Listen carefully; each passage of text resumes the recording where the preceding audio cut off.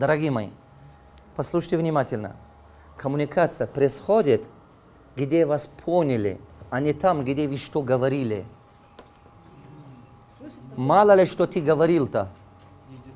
А ведь я ему сказал, я ему говорил, я ему написал. Это чушь собачья, это все. Коммуникация там, где тебя поняли. Часто происходит, что ваш сотрудник говорит, я ему сказал, я ему говорю, ты это, я это написал, я ему объяснил, я ему отправил. Ну что, что ты отправил? Как он тебе понял, вот это важнее, а не то, что ты писал или ты, что ты говорил. Коммуникация происходит там, где именно тебя поняли. Ты написал, а ты проверил, что тебе поняли. А ты говорил, а ты действительно убедился, что он тебе понял так, как должно быть, чтобы мы получили ожидаемый результат. А у нас мозги что происходит? Я же ему сказал. И мы думаем, что как будто если я сказал, он так понял. Это означает, что большинство случаев мы не доведем до конца свою часть задачи. Это как роль жизни руководителя. Руководителя жизни такой. У него идея появится в голове, воображение он чуть-чуть понимает, больше никто не видит. Так? Он придет, потом начнет почнет рассказывать, делай вот такое. А он думает, это что, так дверь делать что ли? Он сам не поймет. Вы понимаете, да?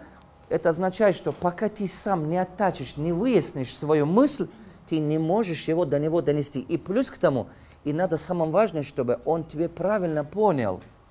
Коммуникация там, где тебе поняли, а не там, где ты говорил. Ты говоришь, но не факт, что тебя правильно поняли. Вы внимание обратите, это настолько необходимая вещь. Вот сейчас теперь анализируйте вашу работу с сотрудниками.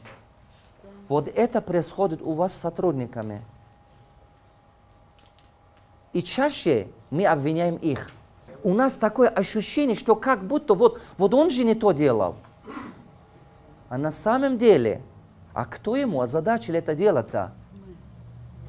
Знаете, чем, над чем я столько усилий вкладываю, работа для вас? Что вы стали лучшим управленцем, лучшим менеджером. Когда вы научитесь очень хорошо поставить задачу, и задача, чтобы этот человек понимал, как это делать, вам самим легче. Не будут переделать. Много повторных расходов не будет. Также переделать не надо будет. А кто больше всех на нервах потом ходит, когда что-то не так делают сотрудники? За их ошибки кто платит потом? В конце концов, хозяин бизнеса, это вы платите.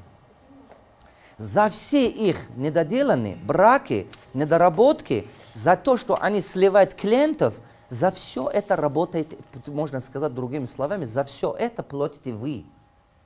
Это вам не бесплатно обойдется, это платно, ребята. И очень дорого, очень дорого обойдется.